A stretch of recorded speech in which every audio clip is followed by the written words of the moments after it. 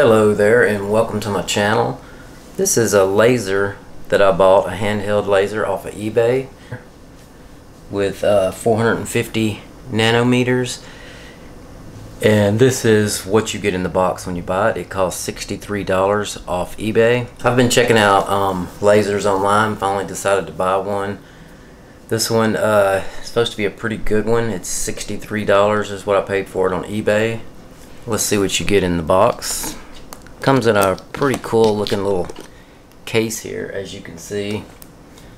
Perfect carrying case for it. Um, that way you have everything in one box and you don't have to throw it in a bag or anything like that. But let's see what you get. Okay. As you can see, you get four batteries.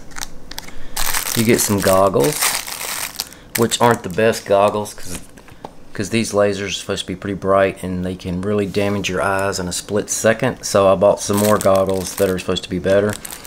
But you get this charger where you can charge two batteries at a time. And you get some five star caps, which give you some really cool effects that you can shine on different things, you know, like your walls or outside, and really cool effects. And the laser itself is right here it has a great feel to it. I chose the black one over the silver.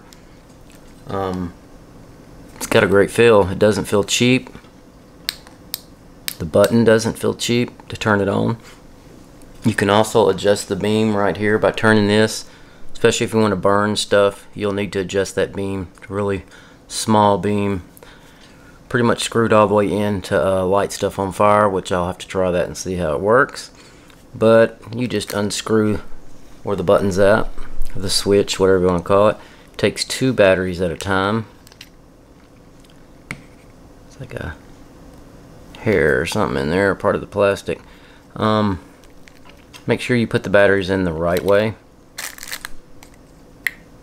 Like that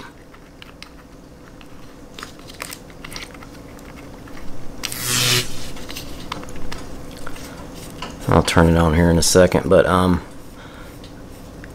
you definitely have to get some goggles on.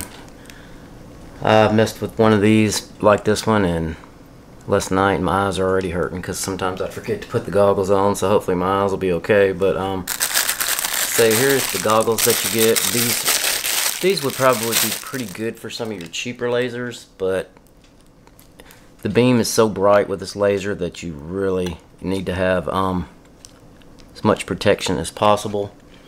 That's why I bought some better goggles, which I'll leave a link in the description of the, the goggles that I bought, and I'll probably do a video on those goggles too, so you can check them out. But anyway, let's um, check out the little star caps too.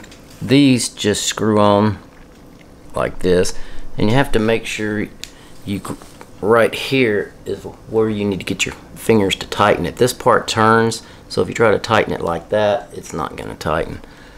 So it's kind of hard to get it in there, but once you get in there, so you can sit there and turn that all day and you'll think, well, it's stripped out, but it's not actually stripped out. You just got to get your fingers. It's really hard to get it down on the bottom. Like that.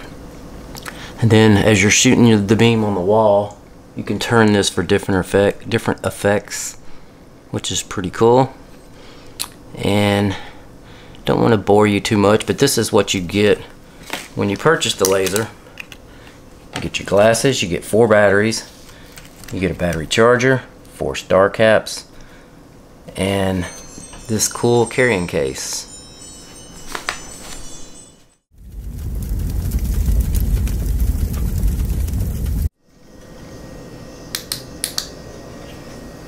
Alright, let's see if we can burn this piece of vinyl here. I can definitely see it smoking.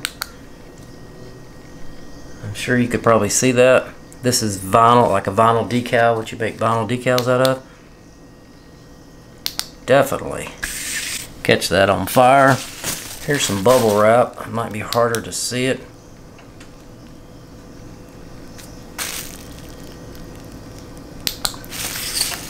It definitely was smoking just a little. Um, for some reason, black will catch on fire easier than any other color. That's why you see that.